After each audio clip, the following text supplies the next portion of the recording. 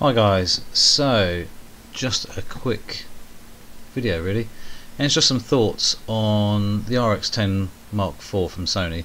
I've owned this camera now from October when it was first released. I was lucky enough to get one of the first ones into the country, uh, possibly even the first one in the country. I had it around about a week or so before anybody else and about two weeks before America got it.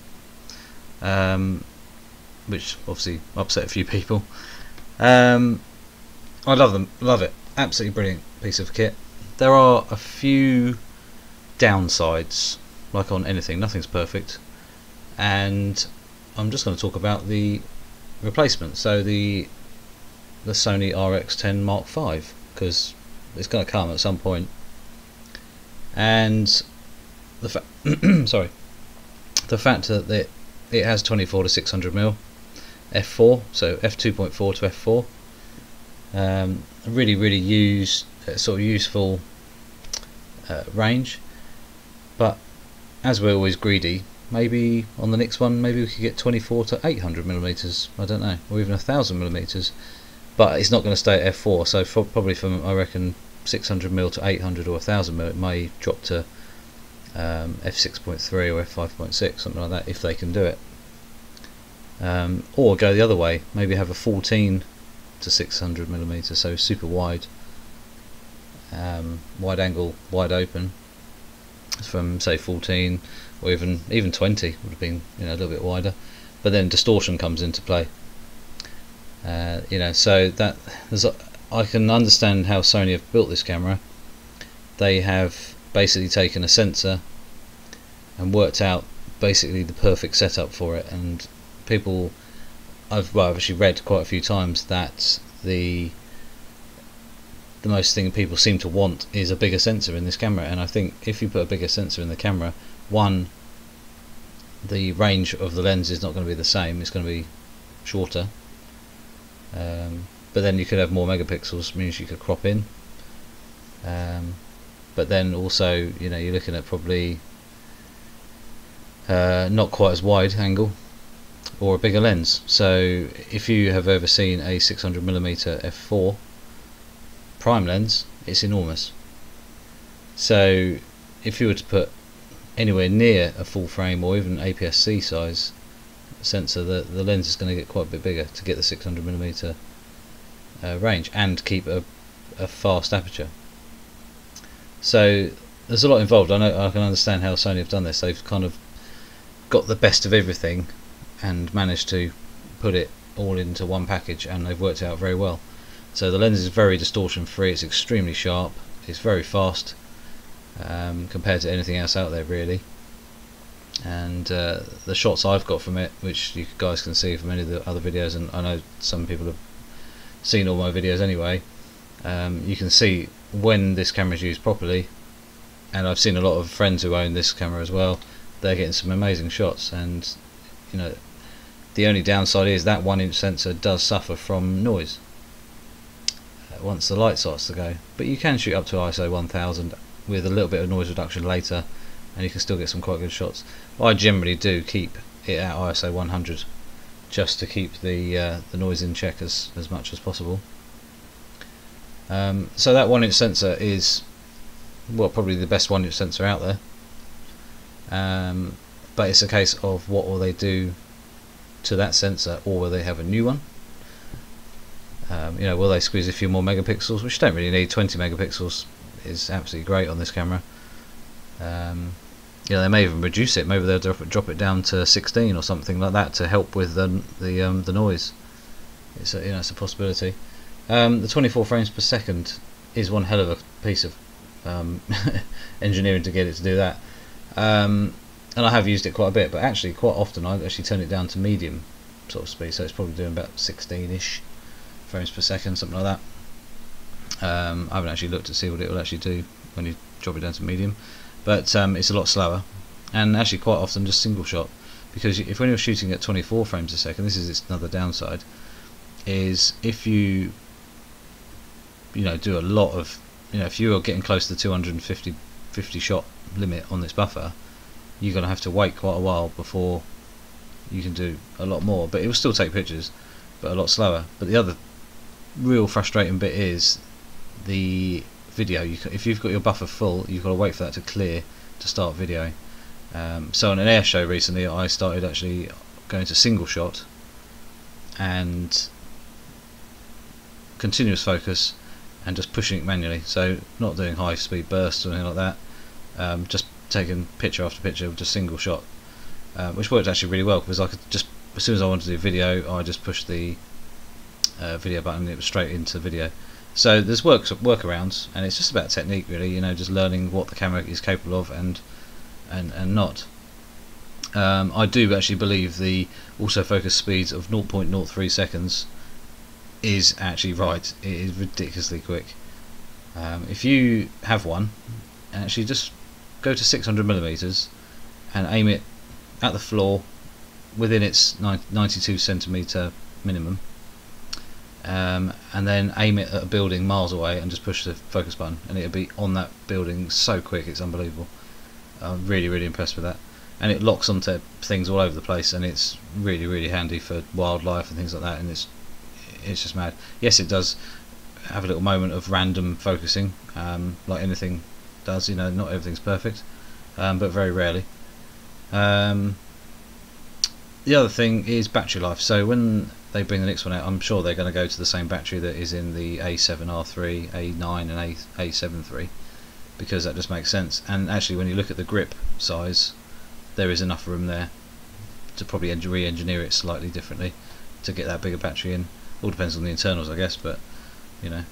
Um, 4K video is amazing on the camera and 100 frames per second which in the UK we're using PAL so it would be 100 frames in, in, in the UK or 120 if you're in the US uh, and elsewhere. Um, really, really good quality video. Uh, even you know up in the ISO as well, it works really well. And then you get on to the slow motion stuff or the high frame rate uh, bit of kit, and 250 and 500 frames per second the ones I use most. In fact, it's mostly 500 frames per second, and I love it. It's so interesting to see stuff that's been slowed down and uh, you know it's been um, it's been uh, you know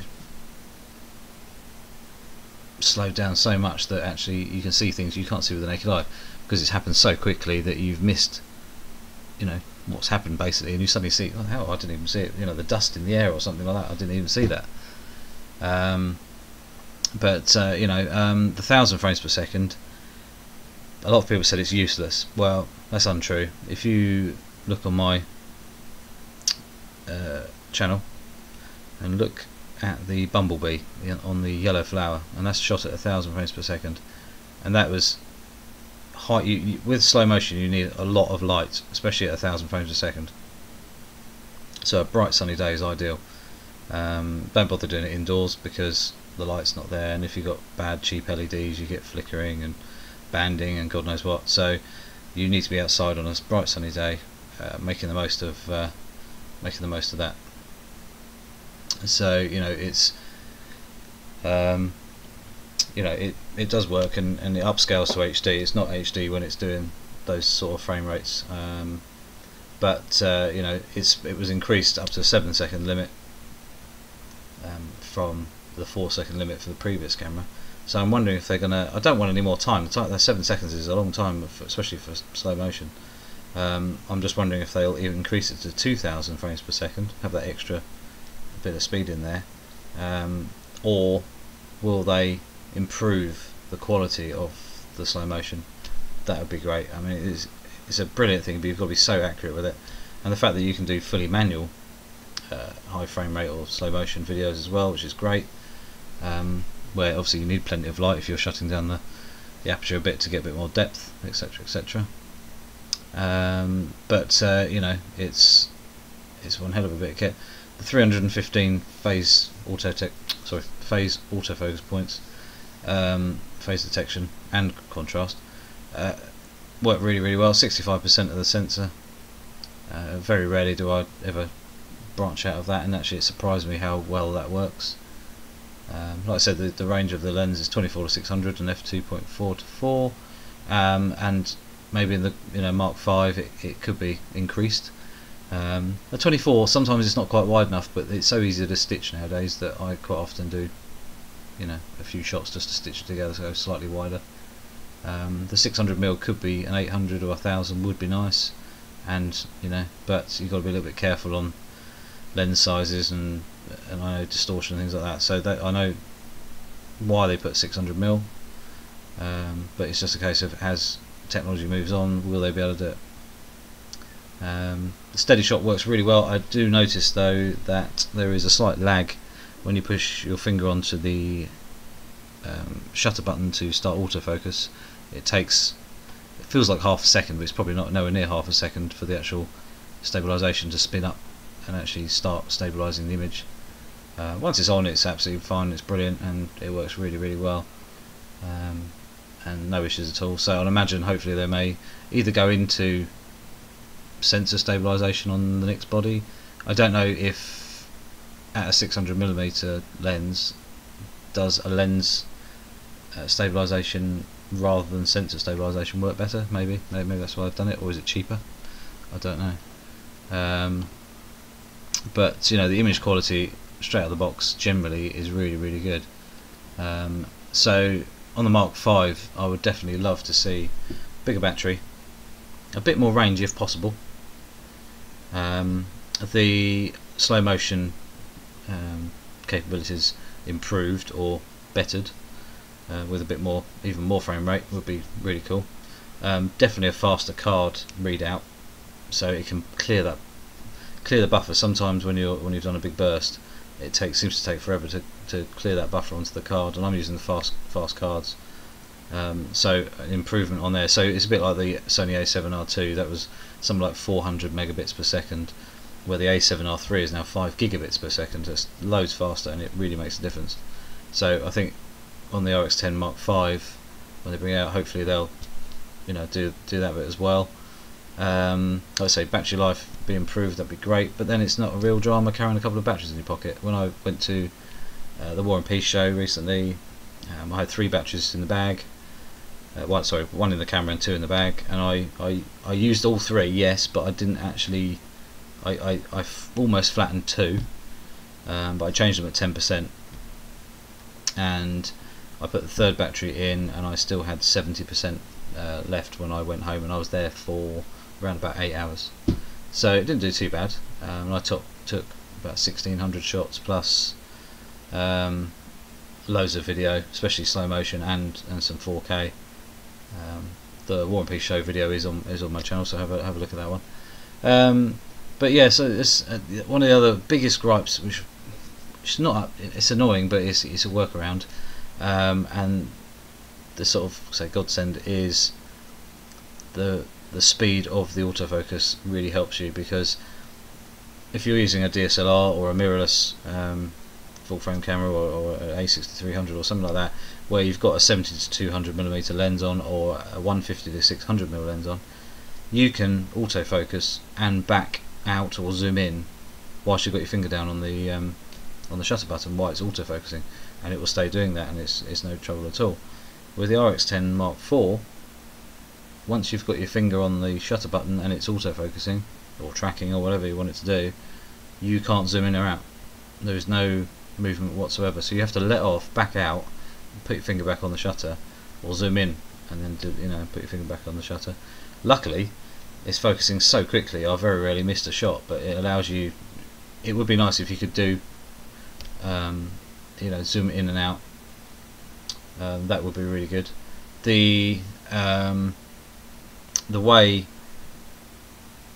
I wish it was like is if anybody can remember the Sony f828 that was a kind of bridge camera stroke hybrid type thing um, where actually there was a I think it was an 18 to 200 mil lens roughly something like that um, and it was like a, a 70 to 200 lens. You you know zoom in and out manually, had manual focus. It was all worked really well, um, and uh, that was really nice to use. So you could, I mean, the autofocus was obviously a lot slower back then, but you could zoom in and out, and it, it had a, a nice feeling. And also the fact you didn't have a, a tilty screen or anything like that, you actually rotated the body on the on on the uh, on the back of the on the back of the lens there. It actually rotated, which was really quite useful. Um, so yes, if we could we could do that, that'd be cool. Uh, yeah, so ISO improvements, uh, noise reduction, and everything like that would be would be helpful. Even though if you if you use the thing in, in the Mark IV in good light, it's unbelievable. It's really really good. No issues whatsoever. It's when you get to dull, dull cloudy days where there's no sunshine, and you have to crank the ISO up, or high ISO. So once you get over sort of four, five, six hundred, and then to a thousand, you then need to actually apply some noise reduction later on. I always turn it off in the camera because it slows the thing down. Uh, what else? Um, think that's really it. I mean, the improvements would would you know just make the camera that much better. And even though it's amazing already, um, there's a few things since using it since October last year. Um, you know, it'd be it'll be you know a, a greatly improved product. Um, also a flippy out screen, so a proper rotating screen, so you can actually use it for vlogging. Um, so you can actually see yourself when you're if you're talking to the camera. And the other thing would be ideally two card slots, but it's not the end of the world. It's only got one. Um, and uh, also the fact that the viewfinder or the EVF is quite small.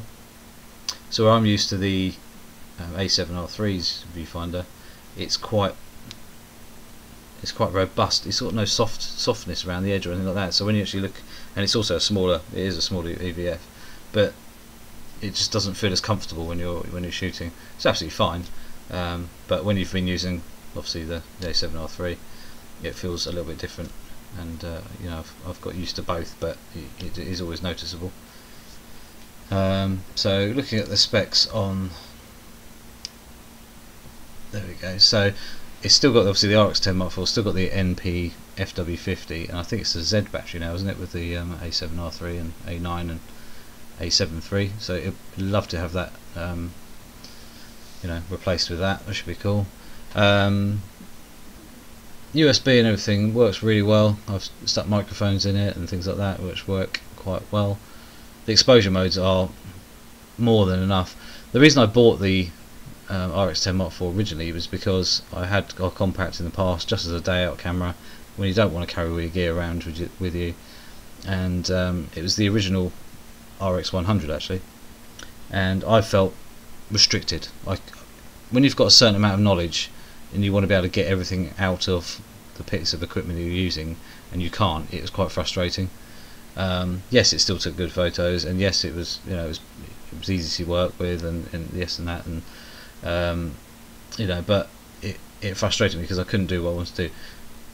The RX10 Mark IV is basically a pro level camera, and all but an all-in-one. So you've got all of all of the functionality and all of the special bits that you really really need or want that you know my A7R3 can do or whatever, plus some extras. So you know the fact I can do one thirty two thousandth of a second shutter speed um, obviously all the slow motion video, which I'd love if they stuck on the next A7R um, range or A7R4 for example. That'd be amazing. You know, full frame slow motion, that'd be nuts. Um, you know, so you know, panorama works quite well. Scene selection, don't really use that. Uh, shutter speed priority, never really use that, but I do use manual. That's it really. The movie modes, not really touch them. I just push record, and then I end up editing stuff later. Um, flash metering everything. Not really use flash on this. It's more of just a day out camera, and I've been using it for video and you know wildlife shooting and things like that. So stills, but not really used the flash. If I do use a flash, it'll either be um, manual wireless or the um, HVLL 60am flash gun which I've got which works straight fine on it and I just stick in manual anyway and uh, work with that so I don't really mess around with the settings too much um, I did buy, it would be nice to get a charger in the box, but I did buy a double charger for it and another battery. Uh, well, another few batteries actually, sorry. Um, so charging up batteries and having spares is really good. Um, the 3 inch touchscreen on the back, I never really use it, um, but now I've got the A7R3, I tend to actually, uh, especially for the focus points for video. So when you're just doing bits and pieces and you want to move over, or when you're doing spot focusing on certain things uh, in. So when you're doing photos, that works really really nicely. Um, I just wish they would add in um, a little bit more sort of usability with the touchscreen, which I'm sure everyone thinks that. Um, the function button is really really good, and you know having all the other buttons you can you know obviously modify and set as you want, um, you know however you like them. The function button is one of the biggest things, so you've got up to I think it's 12 items in there um, that you can choose. So I've got face recognition, um, uh, what got stabilization on or off, um, shutter type, so um, mechanical, auto, and obviously silent. And uh, one of the, the one I use the most, and this is why people, when the people moan about the the actual menus themselves, I very rarely go into the menu. So once you push the menu button, I've I've gone in there to change something that you know I might change once a year or something. You know something similar like that. But the actual function button, so you can go in and change you know my uh, HFR, so the, the, high frame rate slow motion video. Go in there, change it for 250, 500, 1000, boom, done. Um, my focus points, go in there, function button, change my focus points, and it's so quick and easy. And that's that's what I love about this camera. It's so usable. And once you've learnt where the buttons are, how you set the, the thing up, and actually just get on with using the camera, it makes it. That's what makes it so good. Excuse me. Um, you know, so that works really well. Um, it's just a few a few tweaks really that you know I think the five could have. Um, so I'll recap quickly. So the five, I would like it. This is my personal thoughts. Um, to have obviously the bigger battery, um, a manual version of the lens, so you can zoom in and out manually rather than electrically. Um, I can understand why it's electrical because obviously the videos and things like that it obviously helps. Um, but if there was an option that you could just spin it manually, so it was obviously you know allowed you to do it whilst you're autofocusing. It can autofocus on video at the same time, so why can't it autofocus and do stills at the same time? You know, back in and out. So I don't get that, but it's something hopefully they can fix. Um, obviously remap the sensor a little bit more so hopefully either a new sensor or a slightly better improved sensor with better low light capabilities giving us a little bit better quality um, but that's still not the end of the world. It's still a very usable camera. Um, the um, improved HFR so better quality or higher frame rates for slow motion that would be a good one. And uh, just a bigger zoom lens if possible. I mean, you know, 24 to 800 or something.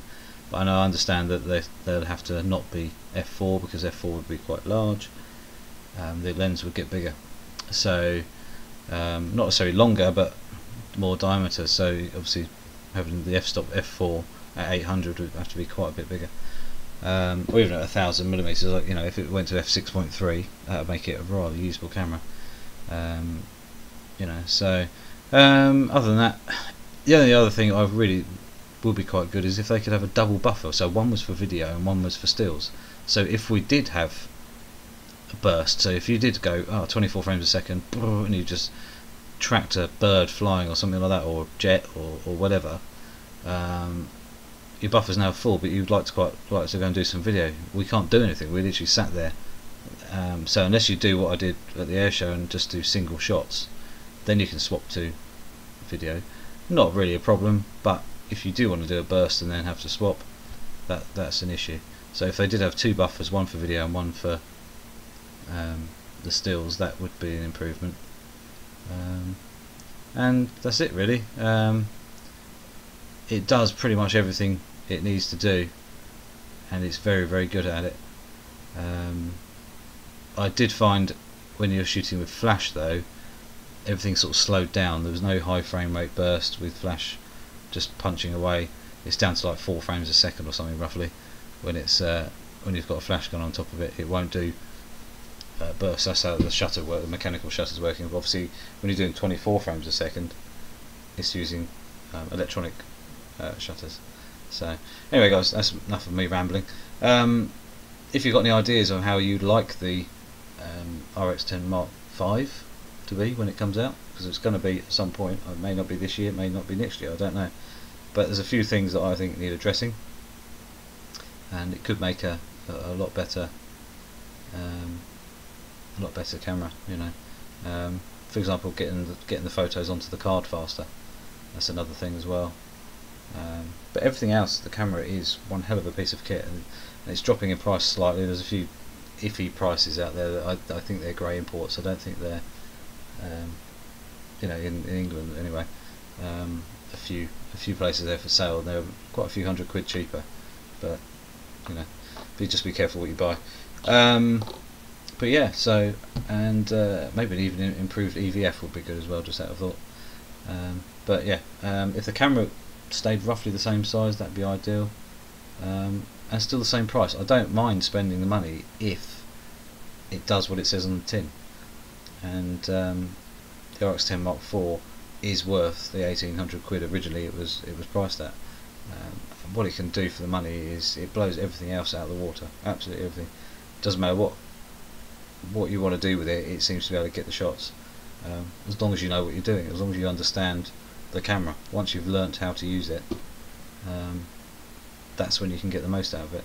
And I still, even today, I still haven't got bored of using it, and I still don't feel like I've conquered it as such. I, I feel like it's still still up to date, up to with today's cameras. So it's not even even though it's almost a year old. Um, it's it's not feeling slow. It's not feeling like it needs an upgrade. Um, you know, so but I'm wondering how long they will wait before they bring the five out because if you look at the RX RX 100, we're now at Mark 6, so and that's got quite a bit of the RX 10 Mark 4's bits in it, um, and some of the features and stuff. So I imagine it's going to be a new one, the RX 10 Mark 5, coming at some point. So uh, we should wait and see, I guess. But yeah, leave a comment down. So if you've got one, if you have, if you own one of these cameras, um, leave a comment below. Anything you think that it needs, or you'd like to see um, be interesting to see what what other people think actually. Um, you know, so you know, you know, do you love the camera? You know, is there anything that really pisses you off about it? Um, you know, or is there certain things you wish you, you could do with it? Um, you know, if or if you're stuck with anything. So if you if you if you need my help, if I can possibly advise you um, in the right direction if you've got an issue with the, the camera or you know learning something new about it um, just ask questions and I'll quite happily try and answer them and uh, we'll go from there but um, yeah it's definitely a it's still a cool camera it definitely works really really well ah, and one more thing actually. The flash. It'd be nice if it did what the A6300 does and actually could bounce it off the ceiling so this this one just pops up. But if it had a bit more rotation so you could actually bounce it off the ceiling you could actually do a little bit of bounce with the flash sometimes just as a little fill-in. Um, if you you know if you're out and about and you just want to do a family photo or something like that, and you don't want to just go boom, and you just want a bit of extra light to bounce off a ceiling, it would be nice if you could, um, you know, obviously just pull it back a bit further, which you can on uh, the A6300, and it's probably A6500 as well. But the um, the way around that is I just got a, um, piece of card and shoved it at 45 degrees, and it shot the shot the light off the ceiling, and it did work. So anyway, guys, um, like I say, please. Um, uh, please uh, subscribe, please um, click the notification bell, and also um, just to say, please ask questions or put some comments below. See what you actually think. Are you thinking about buying an, an RX10 Mark IV? Um, what I've explained today is the kind of little gripes there, but you live with it. I mean, they're not. It's not causing you to take bad photos. It's just making you work, have some workarounds, and you know, you learn how to get the pictures. I mean, when we talked about film cameras years ago, we'd actually the things you'd have to do to try and get the photo, like pre-focus on certain areas. You know, as something came into shot, just to get the photo, you, you, don't have to worry about that now. You just track something from left to right, and it's in focus the whole lot. You know, that, that never used to be possible. But um, you know, so um, ask questions, put some comments down. Anything you think the camera needs, or could do with, or could it be improved um, in any of your your thoughts um, and let us know. So anyway guys, I shall see you soon and uh, yeah, don't forget to um, click the subscribe button. Okay, cheers.